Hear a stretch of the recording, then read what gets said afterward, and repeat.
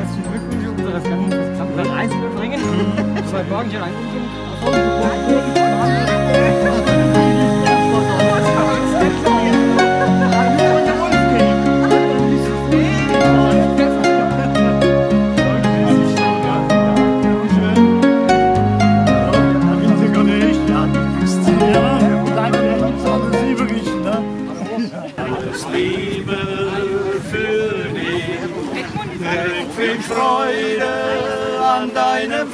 Festtag, wünschen wir dir feierlich.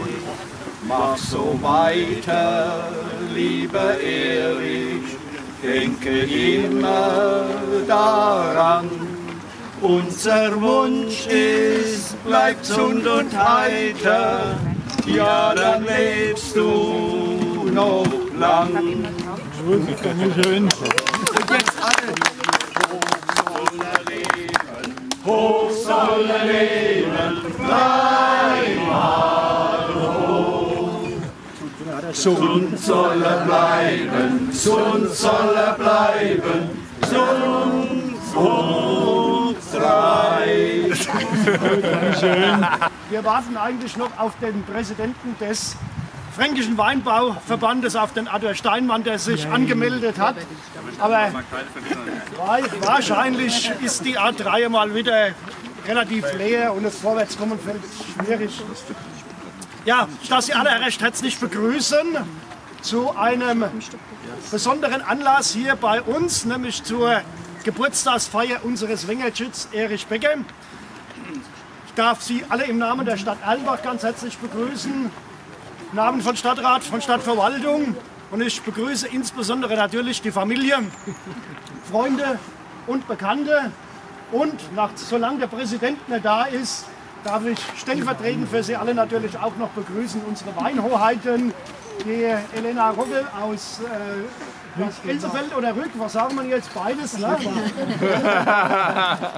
Und die Alexandra Oehlein aus Klingenberg. Sie ist quasi die Hausherrin hier, weil so schwer es uns fällt, es immer wieder zuzugeben, wir befinden uns hier auf Klingenberger Grund und Boden. Trotzdem sind und bleiben es die Erlenbacher Weinberge.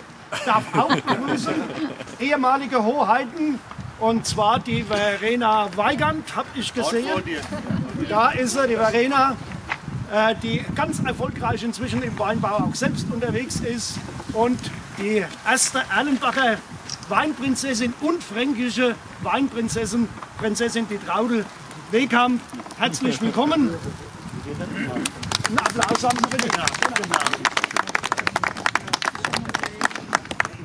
Ja, ich darf dir, lieber Erich, im Namen der Stadt, denke auch im Namen aller Anwesenden, ganz, ganz herzlich zum Geburtstag gratulieren.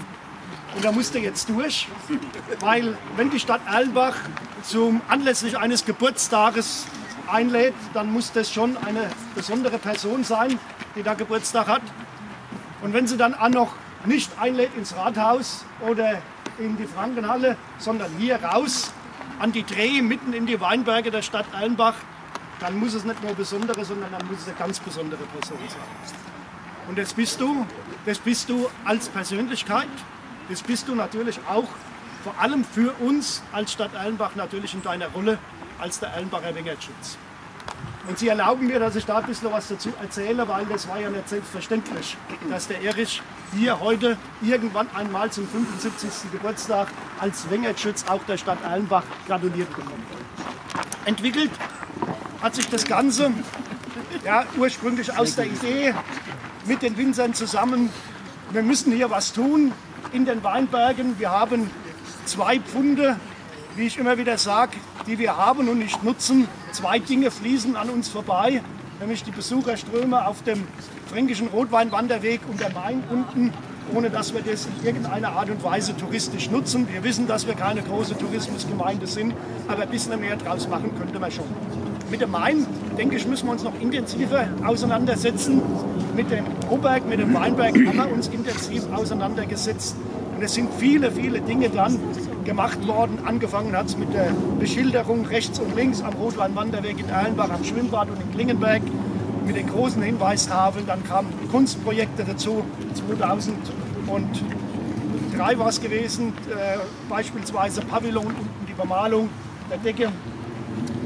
Die anderen Kunstwerke, der fränkische, äh, der kurfränkische Klettersteig, der Kräutergarten, hier, nee, da vorne dann irgendwann die, die Rastplattform, die Dreh über die, über die Flurbereinigung auch, der Premium Weinberg, den die Stadt an die Verena äh, weitergegeben hat zur Bewirtschaftung und, und, und. Es ist also vieles gemacht worden. Und relativ am Anfang dieser Überlegungen stand auch die Überlegung, Mensch, überall in ganz Franken sind die Weinprinzessinnen unterwegs, aber bei uns nicht. Jetzt haben die Winzer immer gesagt, gute Idee, würden wir auch gern wieder machen, aber wir haben niemanden, der es tut. War lange vor der Zeit von der Verena. Ja?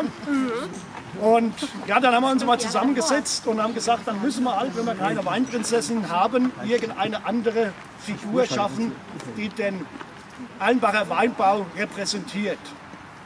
Es ist überlegt worden, ob das der Bacchus wäre oder sein könnte. Da hätte man vielleicht auch eine Figur gehabt, die das ausfüllen hätte können. Aber ob wir die gewollt hätten, das ist die andere Frage. Ich weiß nicht, mit einem Zahn im Mund. Und aus den Gesprächen, als ich meine, es war die Idee vom Reinhold Hillerich gewesen, Ja, am Ton. hat, äh, früher gab es den Wahrheit. der zur Zeit der Reife der Trauben dann kurz vor der Lese durchgegangen ist mit Kapit äh, äh, Pistole geschossen hat, um die, die Vögel zu verjagen. Das wäre doch eine Idee. Und sofort ist das auf fruchtbaren Boden gefallen und wurde ausgearbeitet. Und die Conny Großmann haben wir dann hinzugezogen, die über ihr, ihr beruflichen Werdegang versucht hat, die Kleidung zu kreieren. Und eins kam zum anderen und auf einmal stand die Figur. So soll sie aussehen, also auf dem Papier. Und jetzt wissen wir alle miteinander, dass wir hier von der Stadt, von den Winzern, wer auch immer der Verantwortung hat, tun und lassen, machen und machen kann, was er will. Gute Ideen haben, kann man immer wieder, aber letztendlich braucht man Menschen, die die umsetzen. Und wenn man so eine Figur, die das Ganze umsetzen, wenn man so eine Figur auf dem Papier hat, stellt sich die Frage, wer könnte denn diese Figur ausfüllen? Und dann kam der erste Vorschlag, das kann eigentlich nur der Erich Becker machen. Punkt. Weil es nur der Erich Becker machen kann, hat es der Erich Becker dann auch gemacht und dankenswerterweise hat er sich sofort und spontan bereit erklärt, in diese Rolle zu schlüpfen und, schlüpfen und das war im Jahre 2005 und seitdem ist er seit zwölf Jahren unterwegs, über zwölf Jahre schon und ist die Repräsentationsfigur. Dass wir dann, dass wir dann in der Folge ja, ich sage wirklich das Vergnügen haben konnten, dass mit der Verena, die auch eine, eine neue Ära von Weinprinzessinnen in Erlenbach losging, ich glaube, das kam erschwerend beglückend hinzu. Ich nehme mich gerne in Kauf, ja. Allerdings muss man auch sagen, der Wengertschütz ist geblieben. Die Prinzessinnen haben gewechselt. Also, Ehrlich, du hast einen ganz schönen Verschlag. Ja, und wenn wir dann die Figur haben, die das ausfüllt mit dem Erich Becker, dann muss man natürlich auch am 75. 75. Geburtstag zur Person Erich Becker kommen. Lieber Erich, ich glaube, wir sind alle miteinander stolz, dass du derjenige bist, der mit den Prinzessinnen zusammen den Weinbau der Stadt Allenbach repräsentierst, weil du diese Figur so ausfüllst, wie sie eigentlich ausgefüllt werden muss. Und weil du ihr genau das gibst, was sie braucht, nämlich Leben, Menschlichkeit, Überzeugungskraft Identität und alles, was dazugehört. Und das gibst du dieser Figur nicht, weil du jetzt gesagt hast, jetzt bin ich der Wengertschütz und ja, jetzt mache ich halt auch mal einer auf Wengertschütz. Der muss so und so sein, also bin ich schon mal so. Nein, du bist so.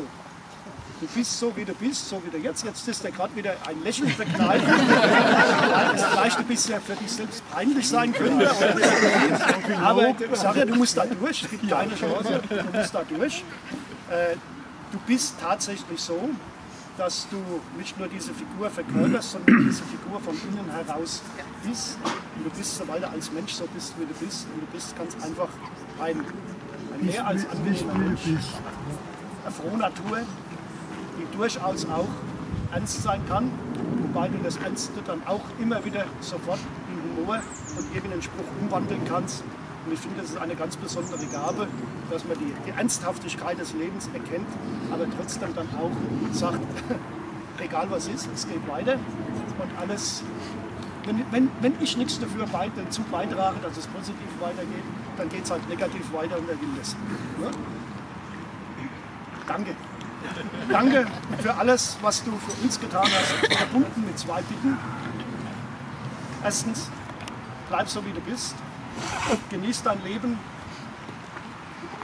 auf viele, viele Jahre noch und bleib vor allem noch viele, viele Jahre unser Wengertschutz.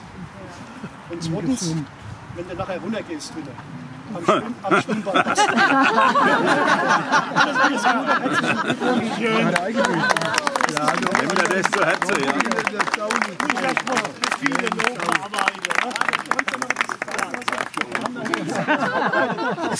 Das wäre jetzt schon ein bisschen komisch, wenn wir jetzt einen Blumenstrauß oder sowas oder Dass da Wein drin sein muss, ist auch klar. Wenn jetzt jemand die Idee haben sollte, also Leid 75 Jahre, 12 Jahre Wengertschütz, äh, Mitte im Weinbau, tätig, im Weinberg sind wir, zwei Fläschchen Wein kriegt er jetzt. Ah, ja, ja. Wach, warte mal wieder. Ne?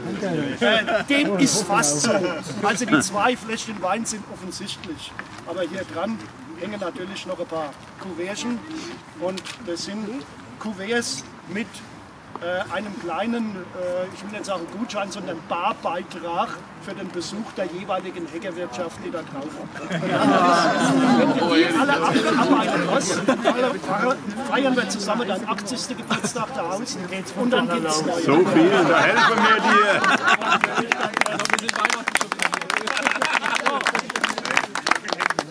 Und jetzt darf ich auch noch den Adolf Steinmann begrüßen, den Präsidenten des Fränkischen Weinbauverbandes. Herr Steinmann, herzlich willkommen bei uns. Sie dürfen gleich nach vorne, Sie dürfen auch gleich, wenn Sie wollen, gratulieren. Ich bin gleich durch. Wollten aber Erich, wir müssen dir helfen trinken. Es kommt immer mehr. äh, herzlichen Glückwunsch zum Geburtstag. Dankeschön. Also, mitgebracht? Ja, ist gut. Also, was haben wir eigentlich Besser gehen, das ist schön, dass wir gar nicht gehen. Tradition und Moderne. Also ich finde, es ist eine, auch eine besondere Ehre, nicht nur für den Wengertschütz, sondern auch für die Stadt Allenbach, dass der Präsident selber zu einem 75. Geburtstag kommt. Ich glaube, es, ich glaube es, wir haben uns ja schon öfters darüber unterhalten, äh, ich glaube, es ist schon auch ein bisschen Anerkennung dessen, was wir versuchen hier in Allenbach aus dem Homberg und aus dem Weinbau zu machen, als kleinste Weinbaugemeinde außer Röllbach. Hier in, in Kurfranken. Äh, und wir wissen, dass sie das anerkennen und dass sie auch insbesondere natürlich nicht nur die Figur- des Wengertschützes, die ja so einmalig ist in, in, im fränkischen Weinbau, äh, dass sie die damit wertschätzen, sondern insbesondere auch den Menschen, der diese Figur, Figur verkörpert. Danke fürs Kommen. Gerne. Das war eine Genehmigung. Ja, Sie dürfen gleich, ja. ja. Soll ich es übernehmen? Nicht alles wieder mitnehmen, Erich. Zusammenhang zur Geltung kommt. Ne? Ja, lieber Herr Becker, lieber Wengertschütz, lieber Herr Bürgermeister, meine Damen und Herren, als ich jetzt gerade hierher gelaufen bin und den Korb so mit mir getragen habe, es hat ja auch ein bisschen Gewicht, und dann die Treppen hochgegangen bin und dann spürt man noch einmal mehr äh, den Respekt, den ich ohnehin vor den Winzern habe und vor der Arbeit, die sie hier leisten. Man spürt es doch mal hautnah, wenn man dann auch ein bisschen Achselschweiß bekommt, wenn man durchgeschwitzt ist, der Atem ausgeht. Aber wie schön es dann ist, wenn man oben ist im Weinberg und wenn man das sieht, wenn man so ein Produkt in den Händen hält, wie schön es dann ist, so eine Landschaft überhaupt zu haben und zu pflegen. Und ich muss schon sagen, es war nicht ganz leicht, jetzt den Korb zu tragen. Er ist immer schwerer geworden, die Arme immer länger. Aber was soll das schon dagegen, wenn man sieht, wie die Winzer, wenn sie hier arbeiten, wenn sie die Düngermittel raufschleppen müssen, wenn sie im Herbst die Trauben wieder runterschleppen müssen, mit wie viel ähm, handwerklicher Arbeit, mit wie viel körperlichen Einsatz sie sich hier betätigen. Und lieber Herr Beck, das ist genau das, was Sie ja verkörpern als Symbolfigur, als der Wengertschütz, der über die Weinberge hier wacht. Vielleicht auch ein helles, ein wachsames Auge darüber hat, dass die Kulturlandschaft und die Natur hier, hier erhalten bleibt. Ich denke, auch das ist im Weinbau, wenn man jetzt so die Presse wieder liest, auch heute gelesen hat, ähm, dass die Insekten sich zu 75 Prozent aus unserer Natur verabschiedet haben. Wenn große landwirtschaftliche, industrielle Betriebe entstehen und wenn man hier dann im Gegensatz dazu leidenschaftliche, engagierte Winzer erlebt, die diese Kulturlandschaft pflegen, einerseits für einen Einklang von Weinanbau mit Natur sorgen, dann macht mich das als Weinbaupräsident sehr stolz, Weinbaupräsident für so eine Branche zu sein.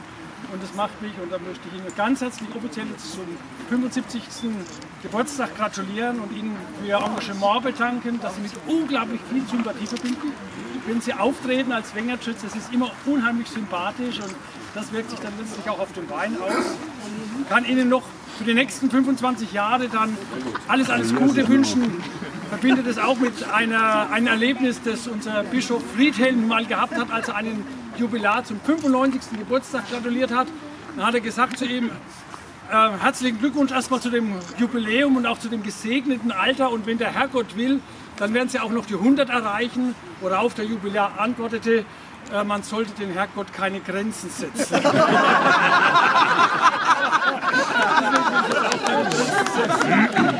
Herzlichen Glückwunsch nochmal, alles Gute und vielen Dank. Ja.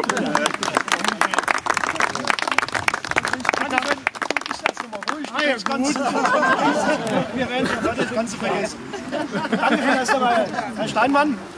Äh, das, das Wort Obergrenze hat ja inzwischen in Bayern eine bestimmte Bedeutung, aber ich glaube, in dem Sinn ist er äh, wirklich äh, so, dass man sagen kann, äh, Obergrenze ist da überflüssig sonst irgendwas. Ähm, vielleicht, bevor wir noch zu einer besonderen Überraschung kommen, äh, kommen lieber Erich, sollten wir unserem Jubilar ein kleines Ständchen singen. Wir haben Sänger da. Happy Birthday, kann jeder den Text. Wenn nicht, vorher noch einen Schluck nehmen, kein Problem. Wer stimmt an?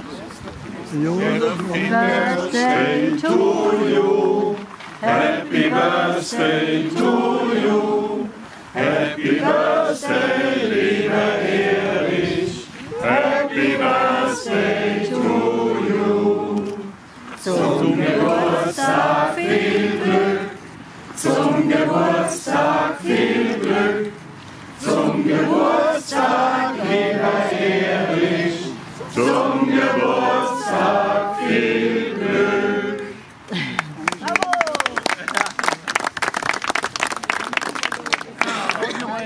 Oder mich allein. Ja, und Lieb von euch. jetzt, Ja, genau. jetzt würde ich gerne übergeben an den Martin Gundert und den Tobias. Ja, Wengertschutz. Lieber Erich, wir sind heute alle hier auf Einladung deiner Heimatgemeinde in deinem Weinberg, um dir zu gratulieren zum 75. Geburtstag.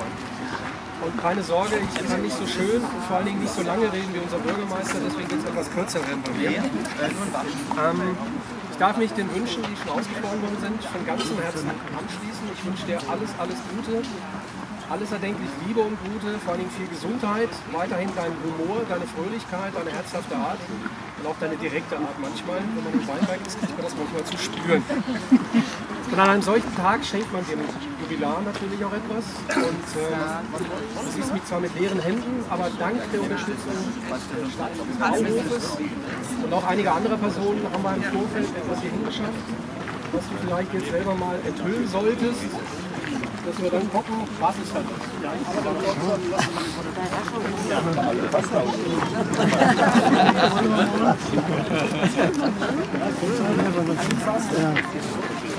Ja, ja. Oi.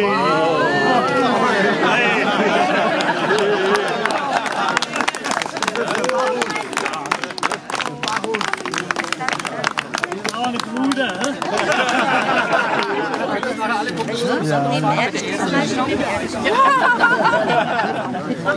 Ich muss vorweg sagen, die Figur entstammt einer Idee von der Susanne Glühspieß. Susanne, das ist die Künstlerin, die hat nicht nur die Idee gehabt, sondern die hat auch in mühevoller Kleinarbeit diese Figur geschaffen. Also erstmal Susanne. Vielen Dank. Das ist unschwer zu erkennen, oder vielleicht hat es der eine oder andere schon erraten, das soll eigentlich ein Wengertschütz darstellen. Also der Wengertschütz ist eine historisch verbürgte Figur. Die wurde wirklich urkundlich im Jahr 1352 das erste Mal in der österreichischen Weinbauordnung erwähnt. Und da stand drin, dass der Weinberghüter, so heißt er in Österreich, das kann man alles nachlesen, Dr. Google sei Dank, der hatte die Aufgabe, den Weinberg zu schützen. Und zwar nicht nur vor zweibeinigen, sondern auch vor vierbeinigen Dieben. Also vor Vögeln, aber auch vor Rehen, vor Dachsen, vor allem was Weinreben klauen könnte. Nach dem Motto, alles was einen Arsch hat, frisst Trauben. Ne? Du. Und der Wengertschütz war eine ehrenwerte Person. Das war jemand, der herausgehoben war in der sozialen Stellung. Und deswegen hat man dort für diese ehrenwerte Aufgabe natürlich nur rechtschaffene und ehebare Männer ausgewählt. Also Erich, ist dir wie auf dem Leib. Müsstest du das machen. Deswegen. Wenn ich jetzt sage, Erich, das ist ein Geschenk von uns, dann heißt das ein Geschenk vom Weinbauverein. Der Tobias wird nachher noch was sagen. Auch von den Silvaner-Freunden, 09 e.V. Der Markus zieht leider heute um, lässt sich entschuldigen, aber der zweite Vorsitzende, Nick Hillerich, ist da. Und auch von meiner Frau Brigitte und von mir als Geschenk an dich, aber auch an Alaba. Es würde uns sehr freuen, wenn man das an einem öffentlichen Platz aufstellen könnte. Wo das ist, muss man dann entscheiden. Aber es wäre super, wenn das irgendwo für alle zugänglich wäre.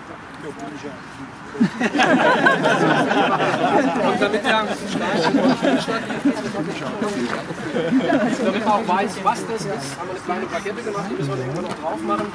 Die musste leider aufgrund verschiedener Tippfehler Die haben den oben im Gewissen. Also auf der Plakette steht der Ellenbacher Wengertschütz zum 75. Geburtstag von Erich Becker und in Würdigung seiner herausragenden Verdienste um den Weinbau in Erlenbach am Main wurde diese Symbolfigur gestiftet von Weinbauverein Erlenbach e.V., äh, Erlenbach am Main, Silvaner Freunde 09 Erlenbach am Main, Brigitte und Martin Gundert mit freundlicher Unterstützung der Stadt Erlenbach am Main. 21. Oktober 2017, damit wir immer wissen, wann wir das genau. Herzlichen herzlichen Glückwunsch, weiterhin viel Gesundheit und wie gesagt keine Grenzen nach oben.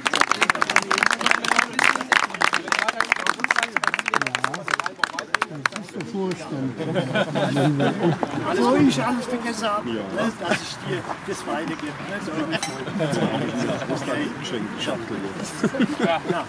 Das meiste ist gesagt. Ich wollte gerade sagen, die Worte ausgesucht. Genau das wollte ich gerade sagen. Also, äh, ich möchte jetzt die Gunsten eben nochmal nutzen, jetzt auch nochmal offiziell zu gratulieren. Im Namen vom Weinbauverein und äh, hoffe natürlich, dass du uns Winzern nicht nur im Verein, sondern eben auch als Wengertschütz noch möglichst lang erhalten bleibst.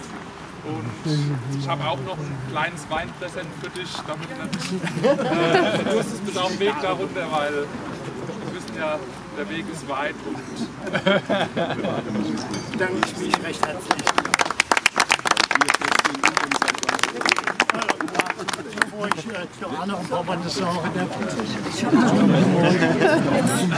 Bevor ich äh, zu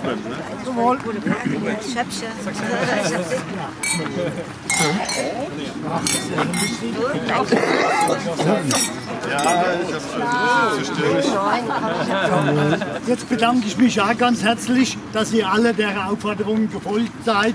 Ne, freiwillig vermutlich. Ne? Und äh, ich habe äh, dieses Jahr mal irgendwo einen schönen Spruch gelesen, den wollte ich euch nicht vorenthalten. Und zwar, wo ich gehe und stehe, tun mir die Knochen weh. Doch wenn ich sitze und sauf, hören die Schmerzen auf. Und da wünsche ich euch eine möglichst schmerzlose Aufenthaltsdauer.